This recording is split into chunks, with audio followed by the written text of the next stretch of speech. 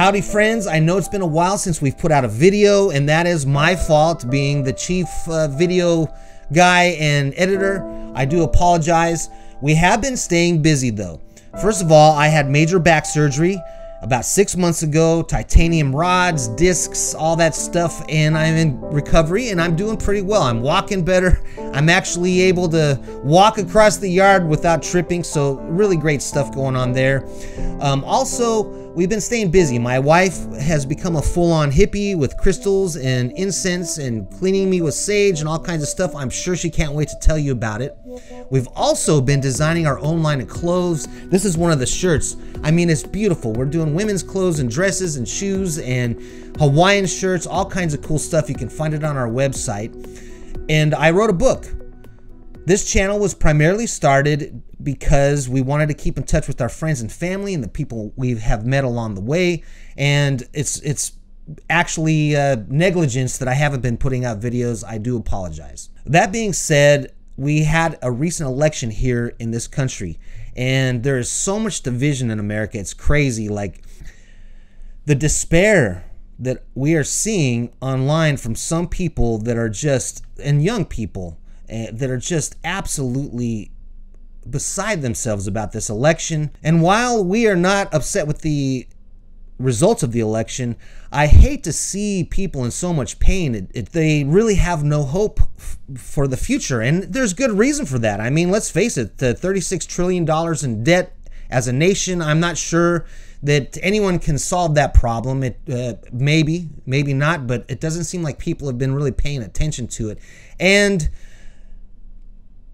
and overall, I mean, if you think about it, this generation, this younger generation, trying to buy a house, trying to live a life, the inflation's so high and the dollar has lost like 50% of its buying power in just the past few decades.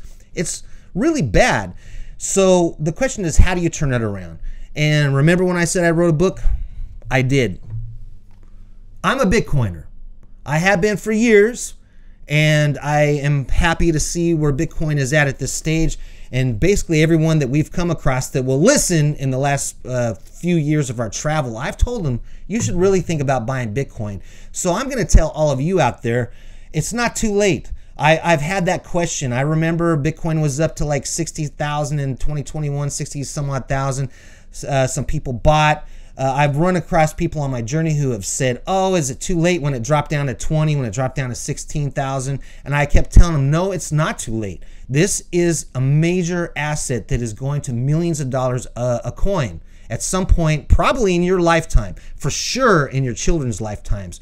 But I imagine in the next 10 years, the next decade, anybody that's thinking about wanting to retire, anybody that's a little concerned about are they going to take Social Security away? Are they going to cut the program?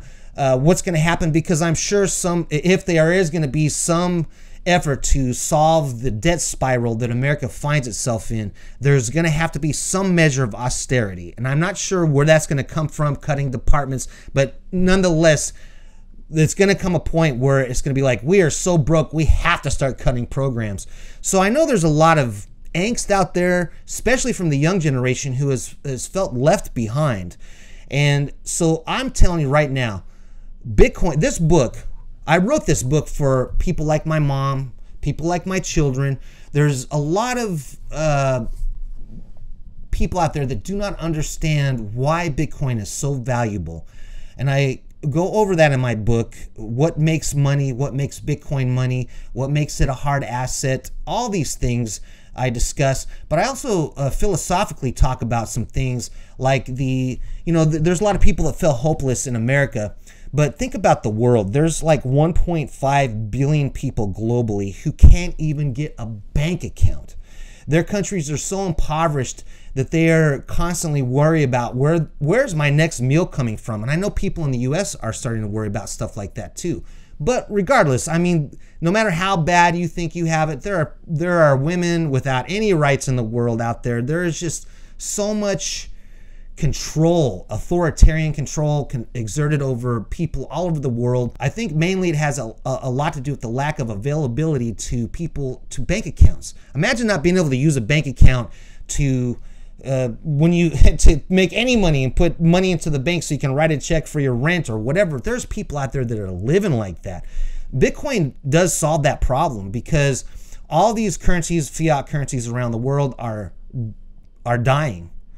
America, the dollar, even though it's lost so much buying power and we're seeing all this inflation, it's still the strongest currency in the world. And I actually believe Bitcoin could save the US dollar and the global economy, particularly if they do use a strategic reserve. But I know a lot of people might dismiss me as a lunatic and a maniac, and believe me, my friends have, but I wrote this book step by step for my family, for my children, for my friends that do not understand why Bitcoin is so valuable. I even go into, uh, I, I talk about Bitcoin versus gold. Bitcoin versus the US dollar. There's a lot of great information, easy to understand.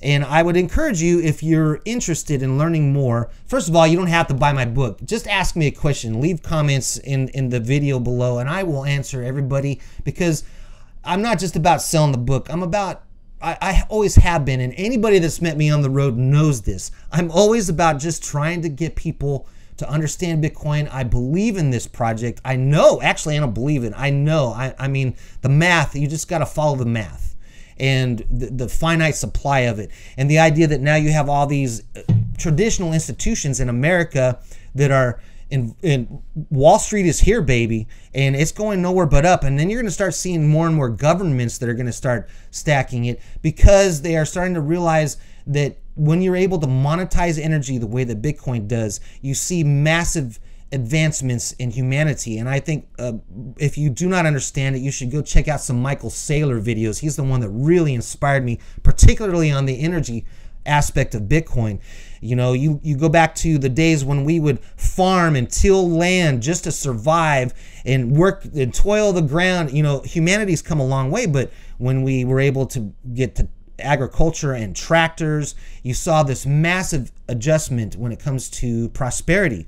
Why? Because we converted human energy into energy with machines. Well, first with uh, uh, animals like ox and horse and whatever, but then it was to tractors, machines, and every major agricultural advance, advancement equals prosperity. Think about it. You still use energy to get groceries. You put gas in your in your tank, you drive to the store, all the groceries in that store were produced somewhere using massive amount of energy and then they had to ship it using more energy the store has to keep the lights on energy so you have all this energy that used to be human energy, and the, and through all the technical advancements that we've had over the years and mechanical advancements, we've converted that human energy and we've condensed that energy. And even though it seems like a massive amount of energy is used to run a grocery store and to get all the products and all the manufacturing and everything that takes place, it's still less energy than it used to take humankind just to eat every day. That's amazing. It's it's the same thing that happens in anything when it comes to the industrial revolution. And like I said, Michael Saylor, if you're not familiar, you need to watch some of his videos. This guy is the king of Bitcoin, and it's hard to watch his video and not walk away and think, wow, I better start investing right now. But I, I think my book will also help. So, hey, listen, we'll be doing more videos. I appreciate you letting me go onto this rant, but all those liberals out there that are feeling so hopeless and in such despair, uh, I do not relish in in watching you in so much pain, but I will I will tell you right now, you want hope for your future. You want to be able to afford a house in the future. You want to be able to uh, be comfortable and you want to be able to invest in something. I, I would I would encourage you to understand Bitcoin, read a few books, watch a few videos, spend some time understanding why this asset's so valuable, why Wall Street, and why you have nation states and governments that are starting to stack Bitcoin. This is just the beginning.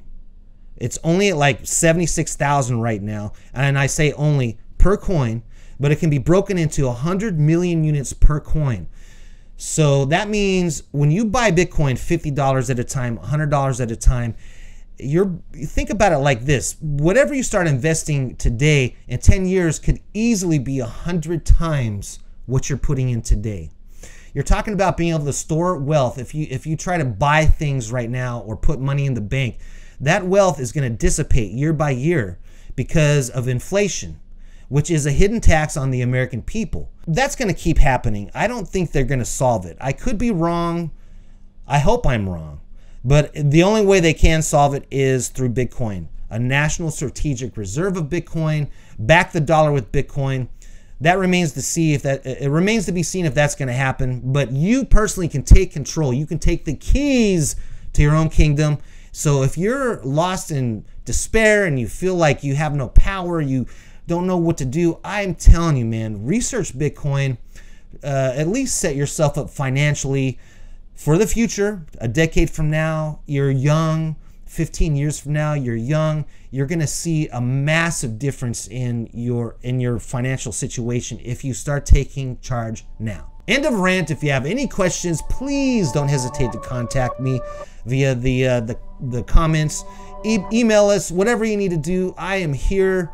I'll be happy to be a resource for you.